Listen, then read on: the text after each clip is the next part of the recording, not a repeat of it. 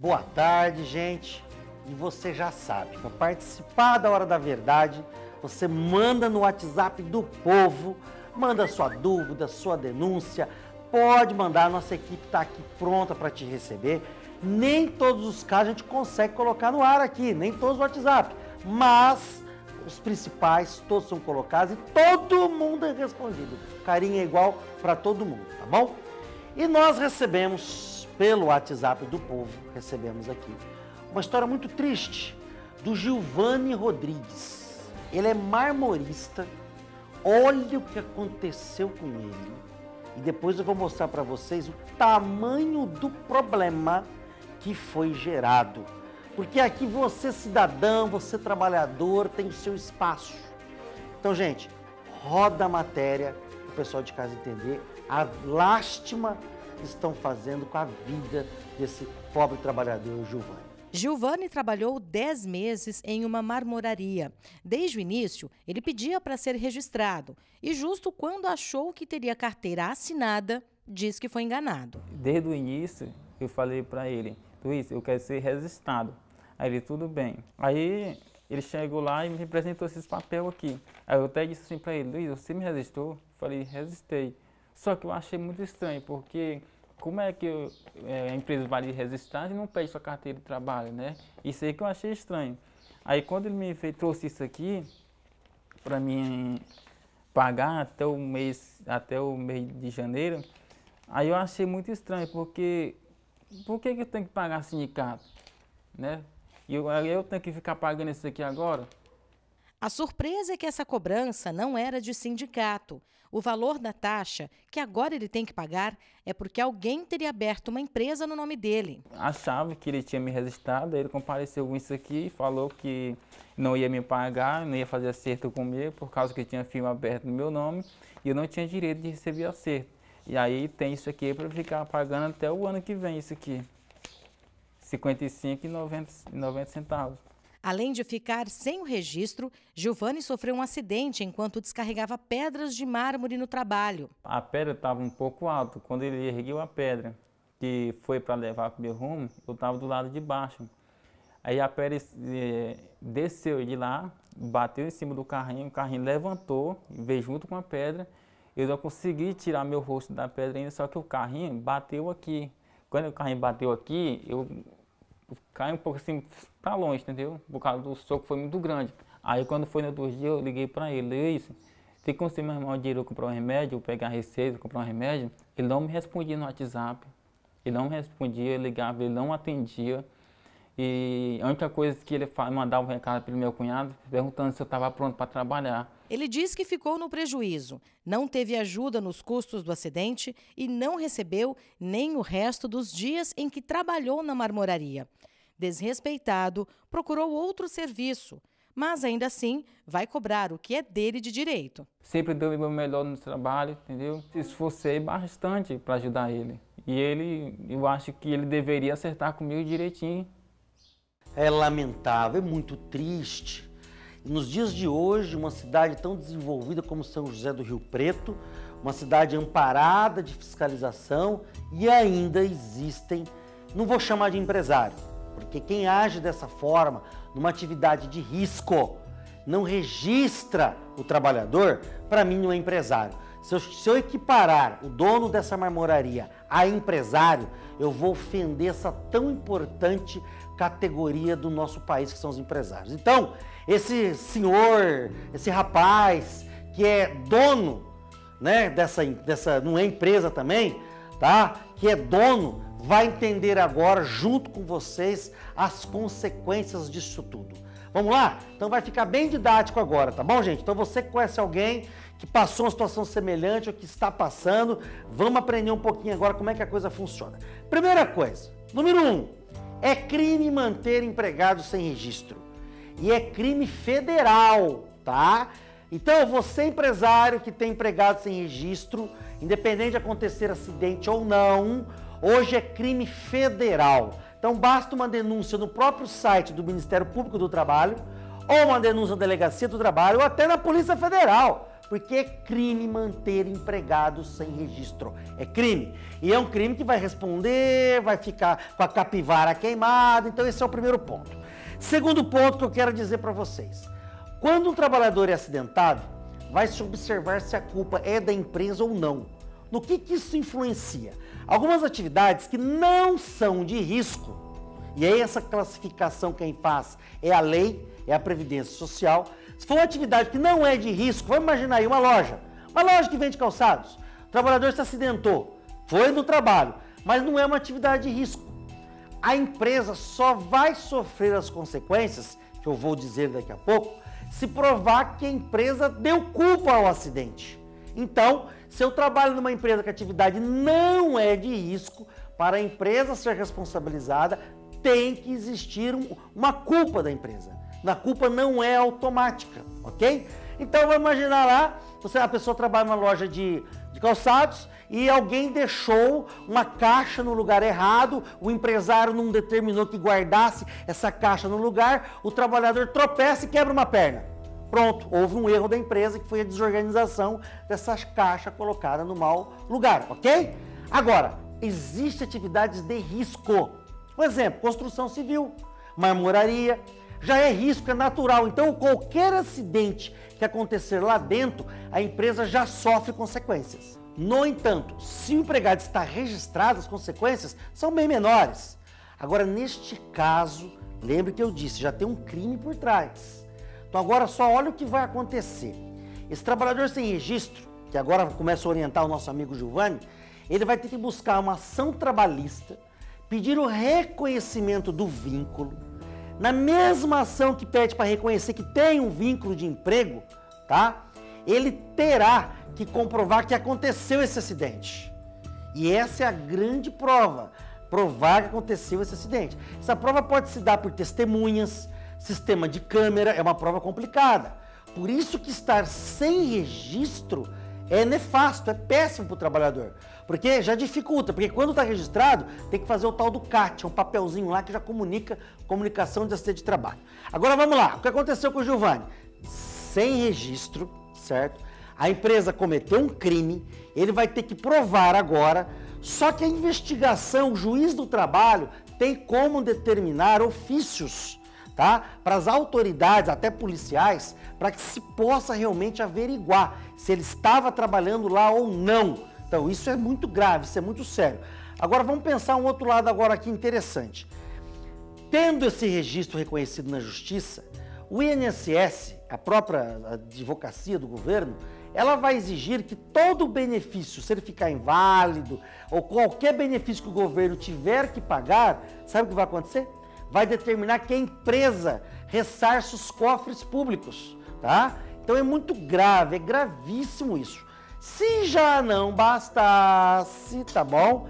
Agora vem a pior parte do problema, gente. Vocês não vão acreditar o que aconteceu com o caso do Giovanni. Temos um dano moral gravíssimo. Por quê? Porque, veja bem, basta o acidente não ter dado as devidas providências, já é um dano moral. Esse dano moral pode chegar até 100 mil reais. No entanto, olha o pior, olha a humilhação. Ele foi levar um atestado e o proprietário né, da suposta empresa, aí, que para mim não é empresa, amassou o atestado, humilhou ele. Isso cabe também injúria, que é outro processo criminal. Bem, situação é muito grave os prazos estão todos fora, o prejuízo do trabalhador é imenso. Então nós aconselhamos sempre, gente, aqui é um conselho importante que a gente quer deixar para vocês. Procurar um bom advogado? Sim, é regra, basilar. Está na dúvida, não conhece um bom advogado, não tem referências? Por favor, o sindicato da categoria. Eu sempre aconselho, porque os advogados do sindicato da categoria, além de não ter custo, são advogados já treinados, advogados idôneos, sem discussão, porque o sindicato tem todo um crivo. Eu conheço praticamente quase todos os advogados de todos os sindicatos aqui de Rio Preto e sei que dá para assinar embaixo. Então fica essa dica muito importante. Agora, Giovanni, Fique em paz, meu irmão. A gente vai te assessorar, vamos te ajudar, vamos te encaminhar os encaminhamentos que você precise. E quero agradecer você ter aparecido aqui na hora da verdade verdade, para dar, mostrar coragem de colocar seu caso, para poder ajudar um pouquinho o pessoal aqui, quem sofre com isso, tá bom? Isso é muito grave. No segundo bloco eu vou continuar no assunto sobre acidentes de trabalho, vou continuar no assunto e vou trazer mais informações para vocês, tá bom? Mas manda sua opinião aí, manda sua opinião, é, manda no WhatsApp do povo, que a gente quer ouvir sua opinião. Se você tem um caso parecido também, caminha para nós, estamos aqui para ouvir vocês.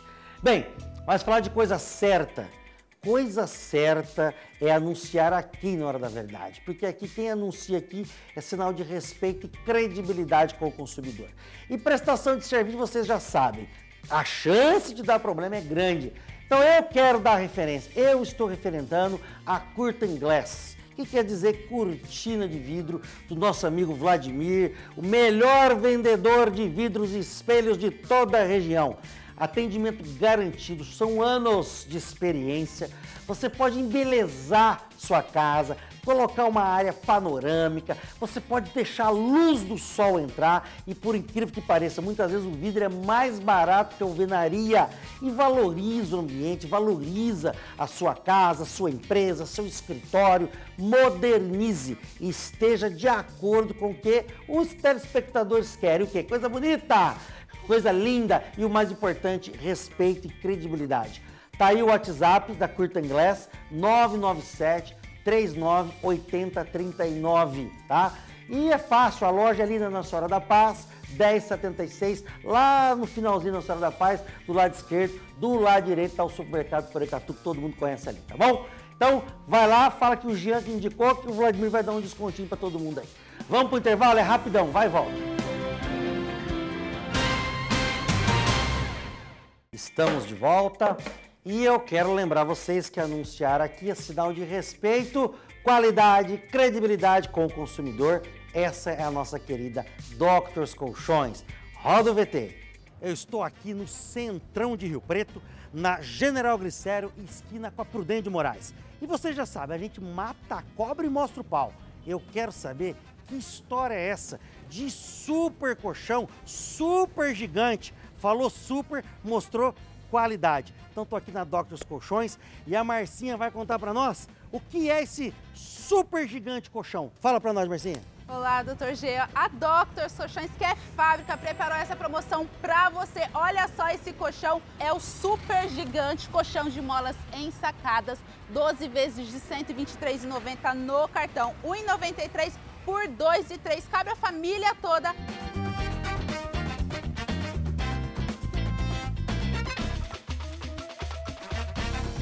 Quatro lojas em Rio Preto, uma em Mirassol. Vem pra cá, todas as lojas estão esperando vocês aí, porque pensou colchões, pensou colchões Doctors. Doctors. Bom, e uma coisa que eu deixei de falar no outro bloco sobre o caso do Gilvani. É, apareceu para ele um registro de MEI. Parece-me que o patrão, né, é, fez ele abrir uma MEI. Então, cuidado que você assina e o fato de ter aberto uma MEI não tira os direitos de vínculo empregatício. Porque tem um princípio de direito do trabalho que diz o seguinte, que a verdade real prevalece sobre os papéis, isso por direito do trabalho, tá bom? Então tem mais esse absurdo, apareceu uma meia aberta no nome do Gilvani. O caso aí é caso de polícia mesmo, é pesado. Depois, produção, me dá o nome dessa marmoraria, tá? Me passa o nome deles aí que a gente vai tentar ver se concilia alguma coisa aí, que a coisa fica muito feia para esse é, suposto empresário, né? Bom, mas falando de direito do trabalho, eu quero contar a historinha para vocês aqui do Marcelo Machado. Ele é eletricista de manutenção e sofreu um acidente de trabalho. Mas dessa vez a coisa estava até organizada, a empresa agiu corretamente. Mas tem agora outra questão: lidar com a previdência social. Roda a matéria. Faz quatro anos que o Marcelo trabalhou para uma usina de energia em Frutal por 45 dias. Pouco tempo, mas o suficiente para um acidente de trabalho mudar a vida dele. No final do dia eu fui fazer um trabalho a pedido do engenheiro e ele me garantiu que todos os procedimentos de segurança estavam ok. Só que quando eu, né, eu me certifiquei, estava é, para a gente falar da linguagem elétrica, né, o comando, a, a energia tem que entrar por cima né, e sair por baixo. E lá estava um erro de projeto, ela estava entrando por baixo e saindo por cima. Como todo eletricista vai medir por baixo. Quando eu fui medir, a energia estava explodiu e me queimou todo o rosto, queimou a, a, as mãos, né? Só não pegou fogo no corpo porque eu estava com a roupa. Mas este não é o único problema. Quando criança, ele contraiu poliomielite e depois de sofrer o acidente, desenvolveu uma depressão porque não conseguia mais trabalhar. E o médico da empresa falou que eu não tenho condições de voltar para a empresa por, por causa do, dos remédios e estou aguardando é, esse, essa perícia do INSS para resolver a situação. Marcelo espera pela perícia ortopédica para conseguir se aposentar por invalidez. A demora é preocupante, porque ele tem medo de perder os direitos com a reforma da Previdência. Com essa reforma previdenciária, ele vai saber como. Agora ele está mandando para 65 anos. Eu tenho 49, sou deficiente físico, eu tenho, é, eu tenho esse joelho estourado, eu tenho placa nessa perna, eu tenho problema na coluna, né, eu tenho a paralisia infantil na perna, e agora daqui 65 anos. E eu já tenho todos os requisitos para aposentar. É, você vem de um acidente de trabalho, e o que, que acontece? A partir do momento que eu aposentar, a minha vida vai fazer uma limpeza. Por quê? Há quatro anos que você está com esse acidente de trabalho. Então, e se eu me aposentar, eu vou ficar é, tranquilo em questão de revisão previdenciária e empresa, que eu estou grudado, pregado na empresa até hoje. Então acabou, acertou, acabou. Com todo respeito à Previdência Social, aos peritos, mas eu volto a dizer, aqui a gente mata a cobra e mostra o pau tá certo? Eu tenho casos como advogado que eu sei que a pessoa não tinha a menor condição mais de trabalhar. E eles ficam postergando, enrolando para decretar a aposentadoria. A pessoa fica naquele vai, não vai. Não está nem aposentado, não está trabalhando. Então, gente, o prazo para o INSS definir essa situação são cinco anos. Infelizmente, mesmo a pessoa estando às vezes travada, sem a menor condição de trabalhar, eles esperam até os cinco anos. Aí você me pergunta, mas Jean, tem como fazer alguma coisa para abreviar, para modificar isso? Tem. Você pode contratar um advogado, o advogado entrar com um pedido judicial e fazer uma perícia na Justiça Federal. Essa perícia da Justiça Federal tem mais força do que a perícia feita lá no INSS. Porque eu vou falar uma coisa para vocês, é real isso. Praticamente o INSS, o INSS acha que todo mundo tá bom para trabalhar.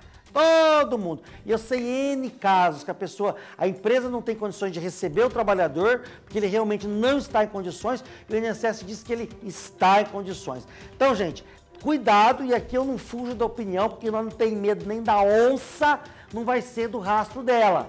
Então vou deixar bem claro, infelizmente o INSS, a autarquia, tem o péssimo hábito de achar que todo mundo é malandro, tá certo? E realmente indefere a maioria dos pedidos. Não se conforme. Procure um advogado e faça uma perícia na Justiça Federal. E aí, o juiz manda pagar o benefício desde lá de trás. E agora virou mania outro negócio também, é o tal do benefício de perda de capacidade. Aí a pessoa tem que voltar a trabalhar, trava a vida da pessoa e ela fica recebendo lá um terço do salário mínimo, 20% do salário mínimo, só que ela vai procurar emprego em algum lugar, não tem mais a mesma mobilidade. A pessoa, a, a profissão, gente, tem que lembrar esse pessoal que faz a lei, esse pessoal da Previdência, que profissão não é assim. Você é advogado, você é médico, você é pedreiro, você é motorista, é dom, é vocação. E a pessoa às vezes tem o dom, tem a vocação para aquilo, sofre um acidente, diminui a capacidade laboral, diminui, mas ela não tem condição de exercer mais aquilo. E outra coisa, às vezes não dá tempo dela aprender mais. Às vezes o cidadão está com 60 anos, 65 anos. Ou seja, é um absurdo isso. Então, temos que ficar atentos e para corrigir isso tudo, tá? Para corrigir isso tudo, quem vai te ajudar é um advogado. Procura um advogado de confiança, tá bom? Então, tá explicado aí? Então, o nosso amigo lá, tá? Ele ficou com esse probleminha aí, vai ter que procurar um advogado e entrar judicialmente. Lamentável, né, gente? O governo mesmo motiva entrar na justiça. Então, e vocês viram que ele já procurou advogado, já está orientado. Vamos fazer o seguinte, então, governo. Vamos parar de fazer creche, escola, vamos construir só fórum fórum e só fazer formar advogado agora. Ah, pelo amor de Deus, gente. Justiça tem que ser exceção e não a regra. O benefício é um direito do trabalhador e tem que ser respeitado, tá bom? Bem, produção, tem zap aí da verdade? Vamos ver o que, que o povo tá falando. Roda aí, zap da verdade. Vamos lá.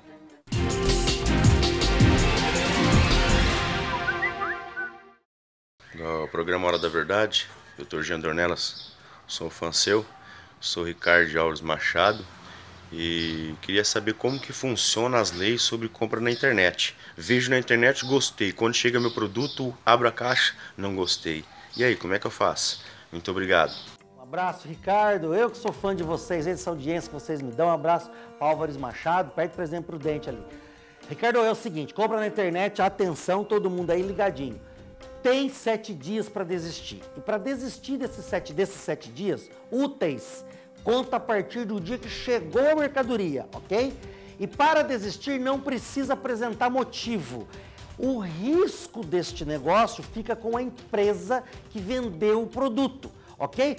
Basta você dizer não quero mais e todas as despesas têm que ser custeadas pela empresa. Então, quer vender pela internet? Tem que assumir o risco. Agora, se você quer formalizar essa desistência, Ricardo, documenta por e-mail 0800 com o número do protocolo, tá? Se documente para provar que você exerceu o seu direito naquele prazo. A, a, a voltar a mercadoria para lá, não há um prazo específico, mas o teu dinheiro, em sete dias, o teu dinheiro tem que estar de volta a partir do momento que você comunicou, ok? Então fica essa dica muito importante, muito boa pergunta do Ricardo. Grande abraço pro Ricardo. Tem mais aí, gente? Tem mais app da verdade aí do povo? O pessoal tá fazendo pergunta aí, o caso aí deu repercussão, essas duas situações aí, lamentável situação. O Álvaro Luiz, boa tarde, Jean. Trabalho em uma empresa de pintor, só que eles não estão pagando adicional de insalubridade. Alegam que existe uma lei que, devido ao EPI ser de boa qualidade, não são obrigados a pagar. É certo? Boa pergunta, Álvaro. Realmente, o que, que as normas regulamentares da Previdência, é, do, do, do, INSS, de, de Segurança do Trabalho dizem? Se o EPI, pode ser luva, máscara, realmente é, sanar o agente nocivo, o cheiro da pintura, coisa do tipo, não tem que pagar, tá? Agora, o fato de usar o EPI não quer dizer que não tem que pagar, às vezes só diminui. Então há pessoas que usam o EPI e mesmo assim, porque são graus, a insalubridade vai de 10 até 40% do salário mínimo. Às vezes o EPI sana tudo, resolve tudo, aí não paga nada. Às vezes só diminui, então tem que pagar um pouquinho. Para isso tem um laudo, tá? Chama PCMO. E esse laudo está disponível para o trabalhador. Na dúvida, qual que é a dica? Procura seu sindicato anonimamente e pede para o sindicato checar essa documentação para você, tá bom? Grande abraço. Vamos lá ver, tem mais aí, gente? É, quem mandou? A, é, o Garcia. Boa tarde, entrei numa empresa de motorista no segundo mês me machuquei seriamente, fiquei oito meses afastado. Tive que fazer cirurgia e não tive respaldo nenhum da empresa. Estou com sequelas até hoje, tive duas audiências e nada. É, Garcia, aí eu tenho que conhecer o caso propriamente dito. Já te adianta, a sua atividade é de risco, então a empresa tem que se responsabilizar de qualquer forma. Sugestão, passa aí o número do processo da nossa equipe da produção, vamos dar uma olhada como é que tá isso aí para poder te orientar, te dar uma informação melhor, tá bom? Mas é demorado mesmo, partiu para a justiça, infelizmente. Dava para colocar mais um? Coloca mais um aí, vamos lá. É a Zumira Castilho. Boa tarde, Jean. Tem um processo há anos e ganhei toda a causa, mas eles dizem não terem nada no nome, mas vive no shopping, trabalha na área da saúde, outro tem participação na empresa do cunhado, o que eu faço? Boa pergunta, Zumira. Um grande abraço. Zumira, é o seguinte, lembra que eu falei princípio, o princípio da verdade real. O que, que é esse nome complicado aí, mas que dá para você aí todo mundo entender. Na Justiça do Trabalho, o mundo dos papéis é derrubado pelo mundo dos fatos. Então, se você provar que a pessoa, aquele carro que ele anda, não está no nome dele, mas você tem provas, tipo fotografias, publicações de Facebook, ele usando aquele carro vários dias, o juiz manda penhorar aquele carro, porque fica provado que, de acordo com a verdade real, o carro é da pessoa. A empresa está em nome do cunhado? Gravações servem, conversa por WhatsApp, comunicados para clientes, cartões de visita, tudo isso serve. Então, dica importante para você, trabalhador, não desanime. Se no mundo do fato você conseguir provas e o WhatsApp serve, Facebook serve, gravação de celular serve, testemunha serve, peça para o seu advogado fazer um incidente, chama incidente, lembra de acidente? Incidente processual. Ele vai entrar com uma petição para o juiz, você vai entregar tudo isso na mão do seu advogado O advogado, gente, ele não é detetive. Então cabe a nós, você, cidadão que está buscando o seu direito, o trabalhador, conseguir essas provas todas aí e colocar na mão do advogado e justiça seja feita, tá bom? Bom, a paz de Deus, muito obrigado pela sua audiência e tamo junto.